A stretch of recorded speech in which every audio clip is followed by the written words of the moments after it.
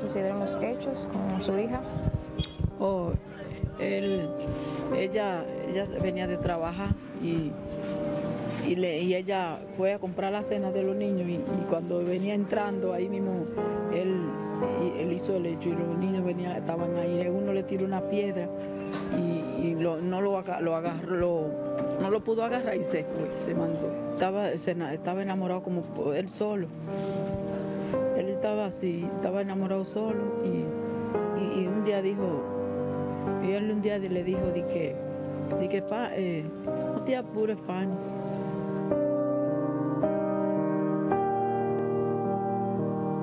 La mató picadita, picadita como un repollo. Un pollo, tú matas un pollo, ¿tú sabes lo que es eso? Él la mató así. Le dio en la cabeza. Y le dio por aquí, Dios guarde. Dios guarde por aquí también. ¿Tú, estaba- tú estabas ahí cuando ello- sucedió la Yo tragedia? llegué y él se hubiera ido.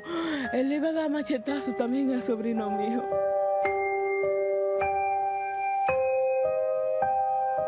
Cuando llegamos ya, ya estaba tirada sin vida, bañada en un charco de sangre, con machetazo, con la cabeza desbaratada y la mitad de los dedos, la mano izquierda llevado. Luego de que estaban ahí, que estaba tirada ahí, lo que hicimos fue llamar a la policía, pero ya no tenía vida. Hombre con Fanny García de 30 años le propinó varios machetazos acabando con su vida delante de sus dos niños más pequeños. Esta persona luego de cometer el hecho emprendió la huida. ¿Es cierto que él puso ese fecales en la puerta de tu casa y tuvieron un inconveniente por eso? Sí, él varias veces hizo eso. Yo no sé por qué lo hacía. Él lo hacía y se iba. Y en la mañana recientemente lo hacía.